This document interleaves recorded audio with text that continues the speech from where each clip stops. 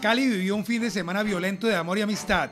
15 personas perdieron la vida desde el pasado viernes hasta la noche de ayer.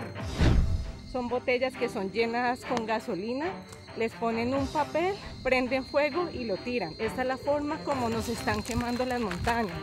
Este video que circuló en redes sociales sería otra de las evidencias para concluir que manos criminales están acabando con nuestros cerros. Ya no hay suficientes parqueaderos en el centro de Cali para los vehículos que circulan diariamente por la zona. Este es el tema de hoy y de mañana en Series Noti 5.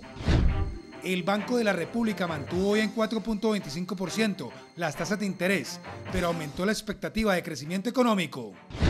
América buscará arrancar con pie derecho la final del fútbol femenino ante Medellín mañana en el Pascual. No tenemos nada que garantice la vida de los transeúntes. Y espere, habitantes de Jamundí piden a gritos señalización iluminación y semaforización para salvar vidas en la vía panamericana. Bienvenidos a la mejor opción que ustedes tienen para estar bien informados.